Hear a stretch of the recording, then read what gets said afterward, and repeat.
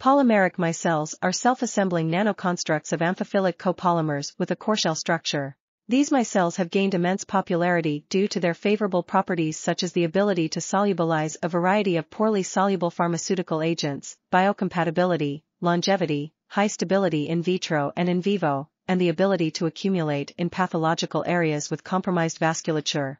Additionally, they can be engineered with various ligands and cell-penetrating moieties to allow for specific targeting and intracellular accumulation, respectively, to load them with contrast agents to confer imaging capabilities, and incorporate stimuli-sensitive groups that allow drug release in response to small changes in the environment. There has been an increasing trend towards designing polymeric micelles which integrate a number of the above functions into a single carrier to give rise to smart, multifunctional polymeric micelles.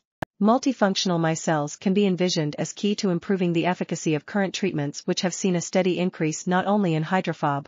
This article was authored by Aditi M. Jhaveri and Vladimir P. Torchilin. We are RTCL.TV, links in the description below.